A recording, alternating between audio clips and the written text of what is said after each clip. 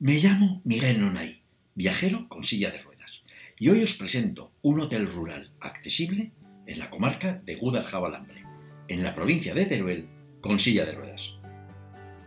Nos encontramos en el hotel La Casa de la Estación. Está en Alventosa, en la sierra de Guadalajara.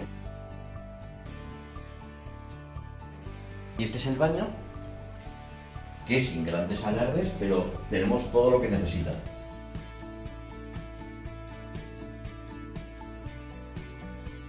El hotel se encuentra en plena naturaleza y tiene todo lo necesario para que solo nos preocupemos de disfrutar y de relajarnos.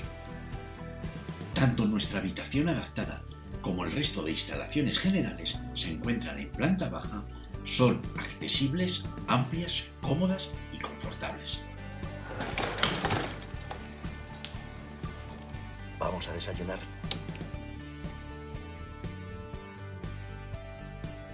El desayuno se sirve en otra dependencia de la finca donde se encuentra el comedor y sala de estar y disfrutaremos de productos cercanos y de calidad puestos en la mesa. Ah, y si al final del día llegáis cansados, os recomiendo que cenéis en el hotel, porque Carlos y su familia os tratarán mejor que en casa. Esto es una ensalada de señores o de señora. Qué bueno. Un arroz con setas. Y trufa. Y trufa.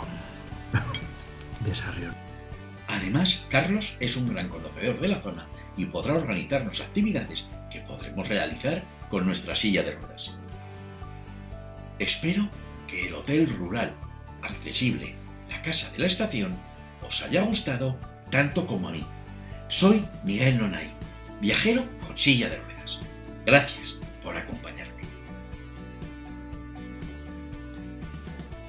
Puedes seguir viajando conmigo a través de mis redes sociales y canales de vídeo.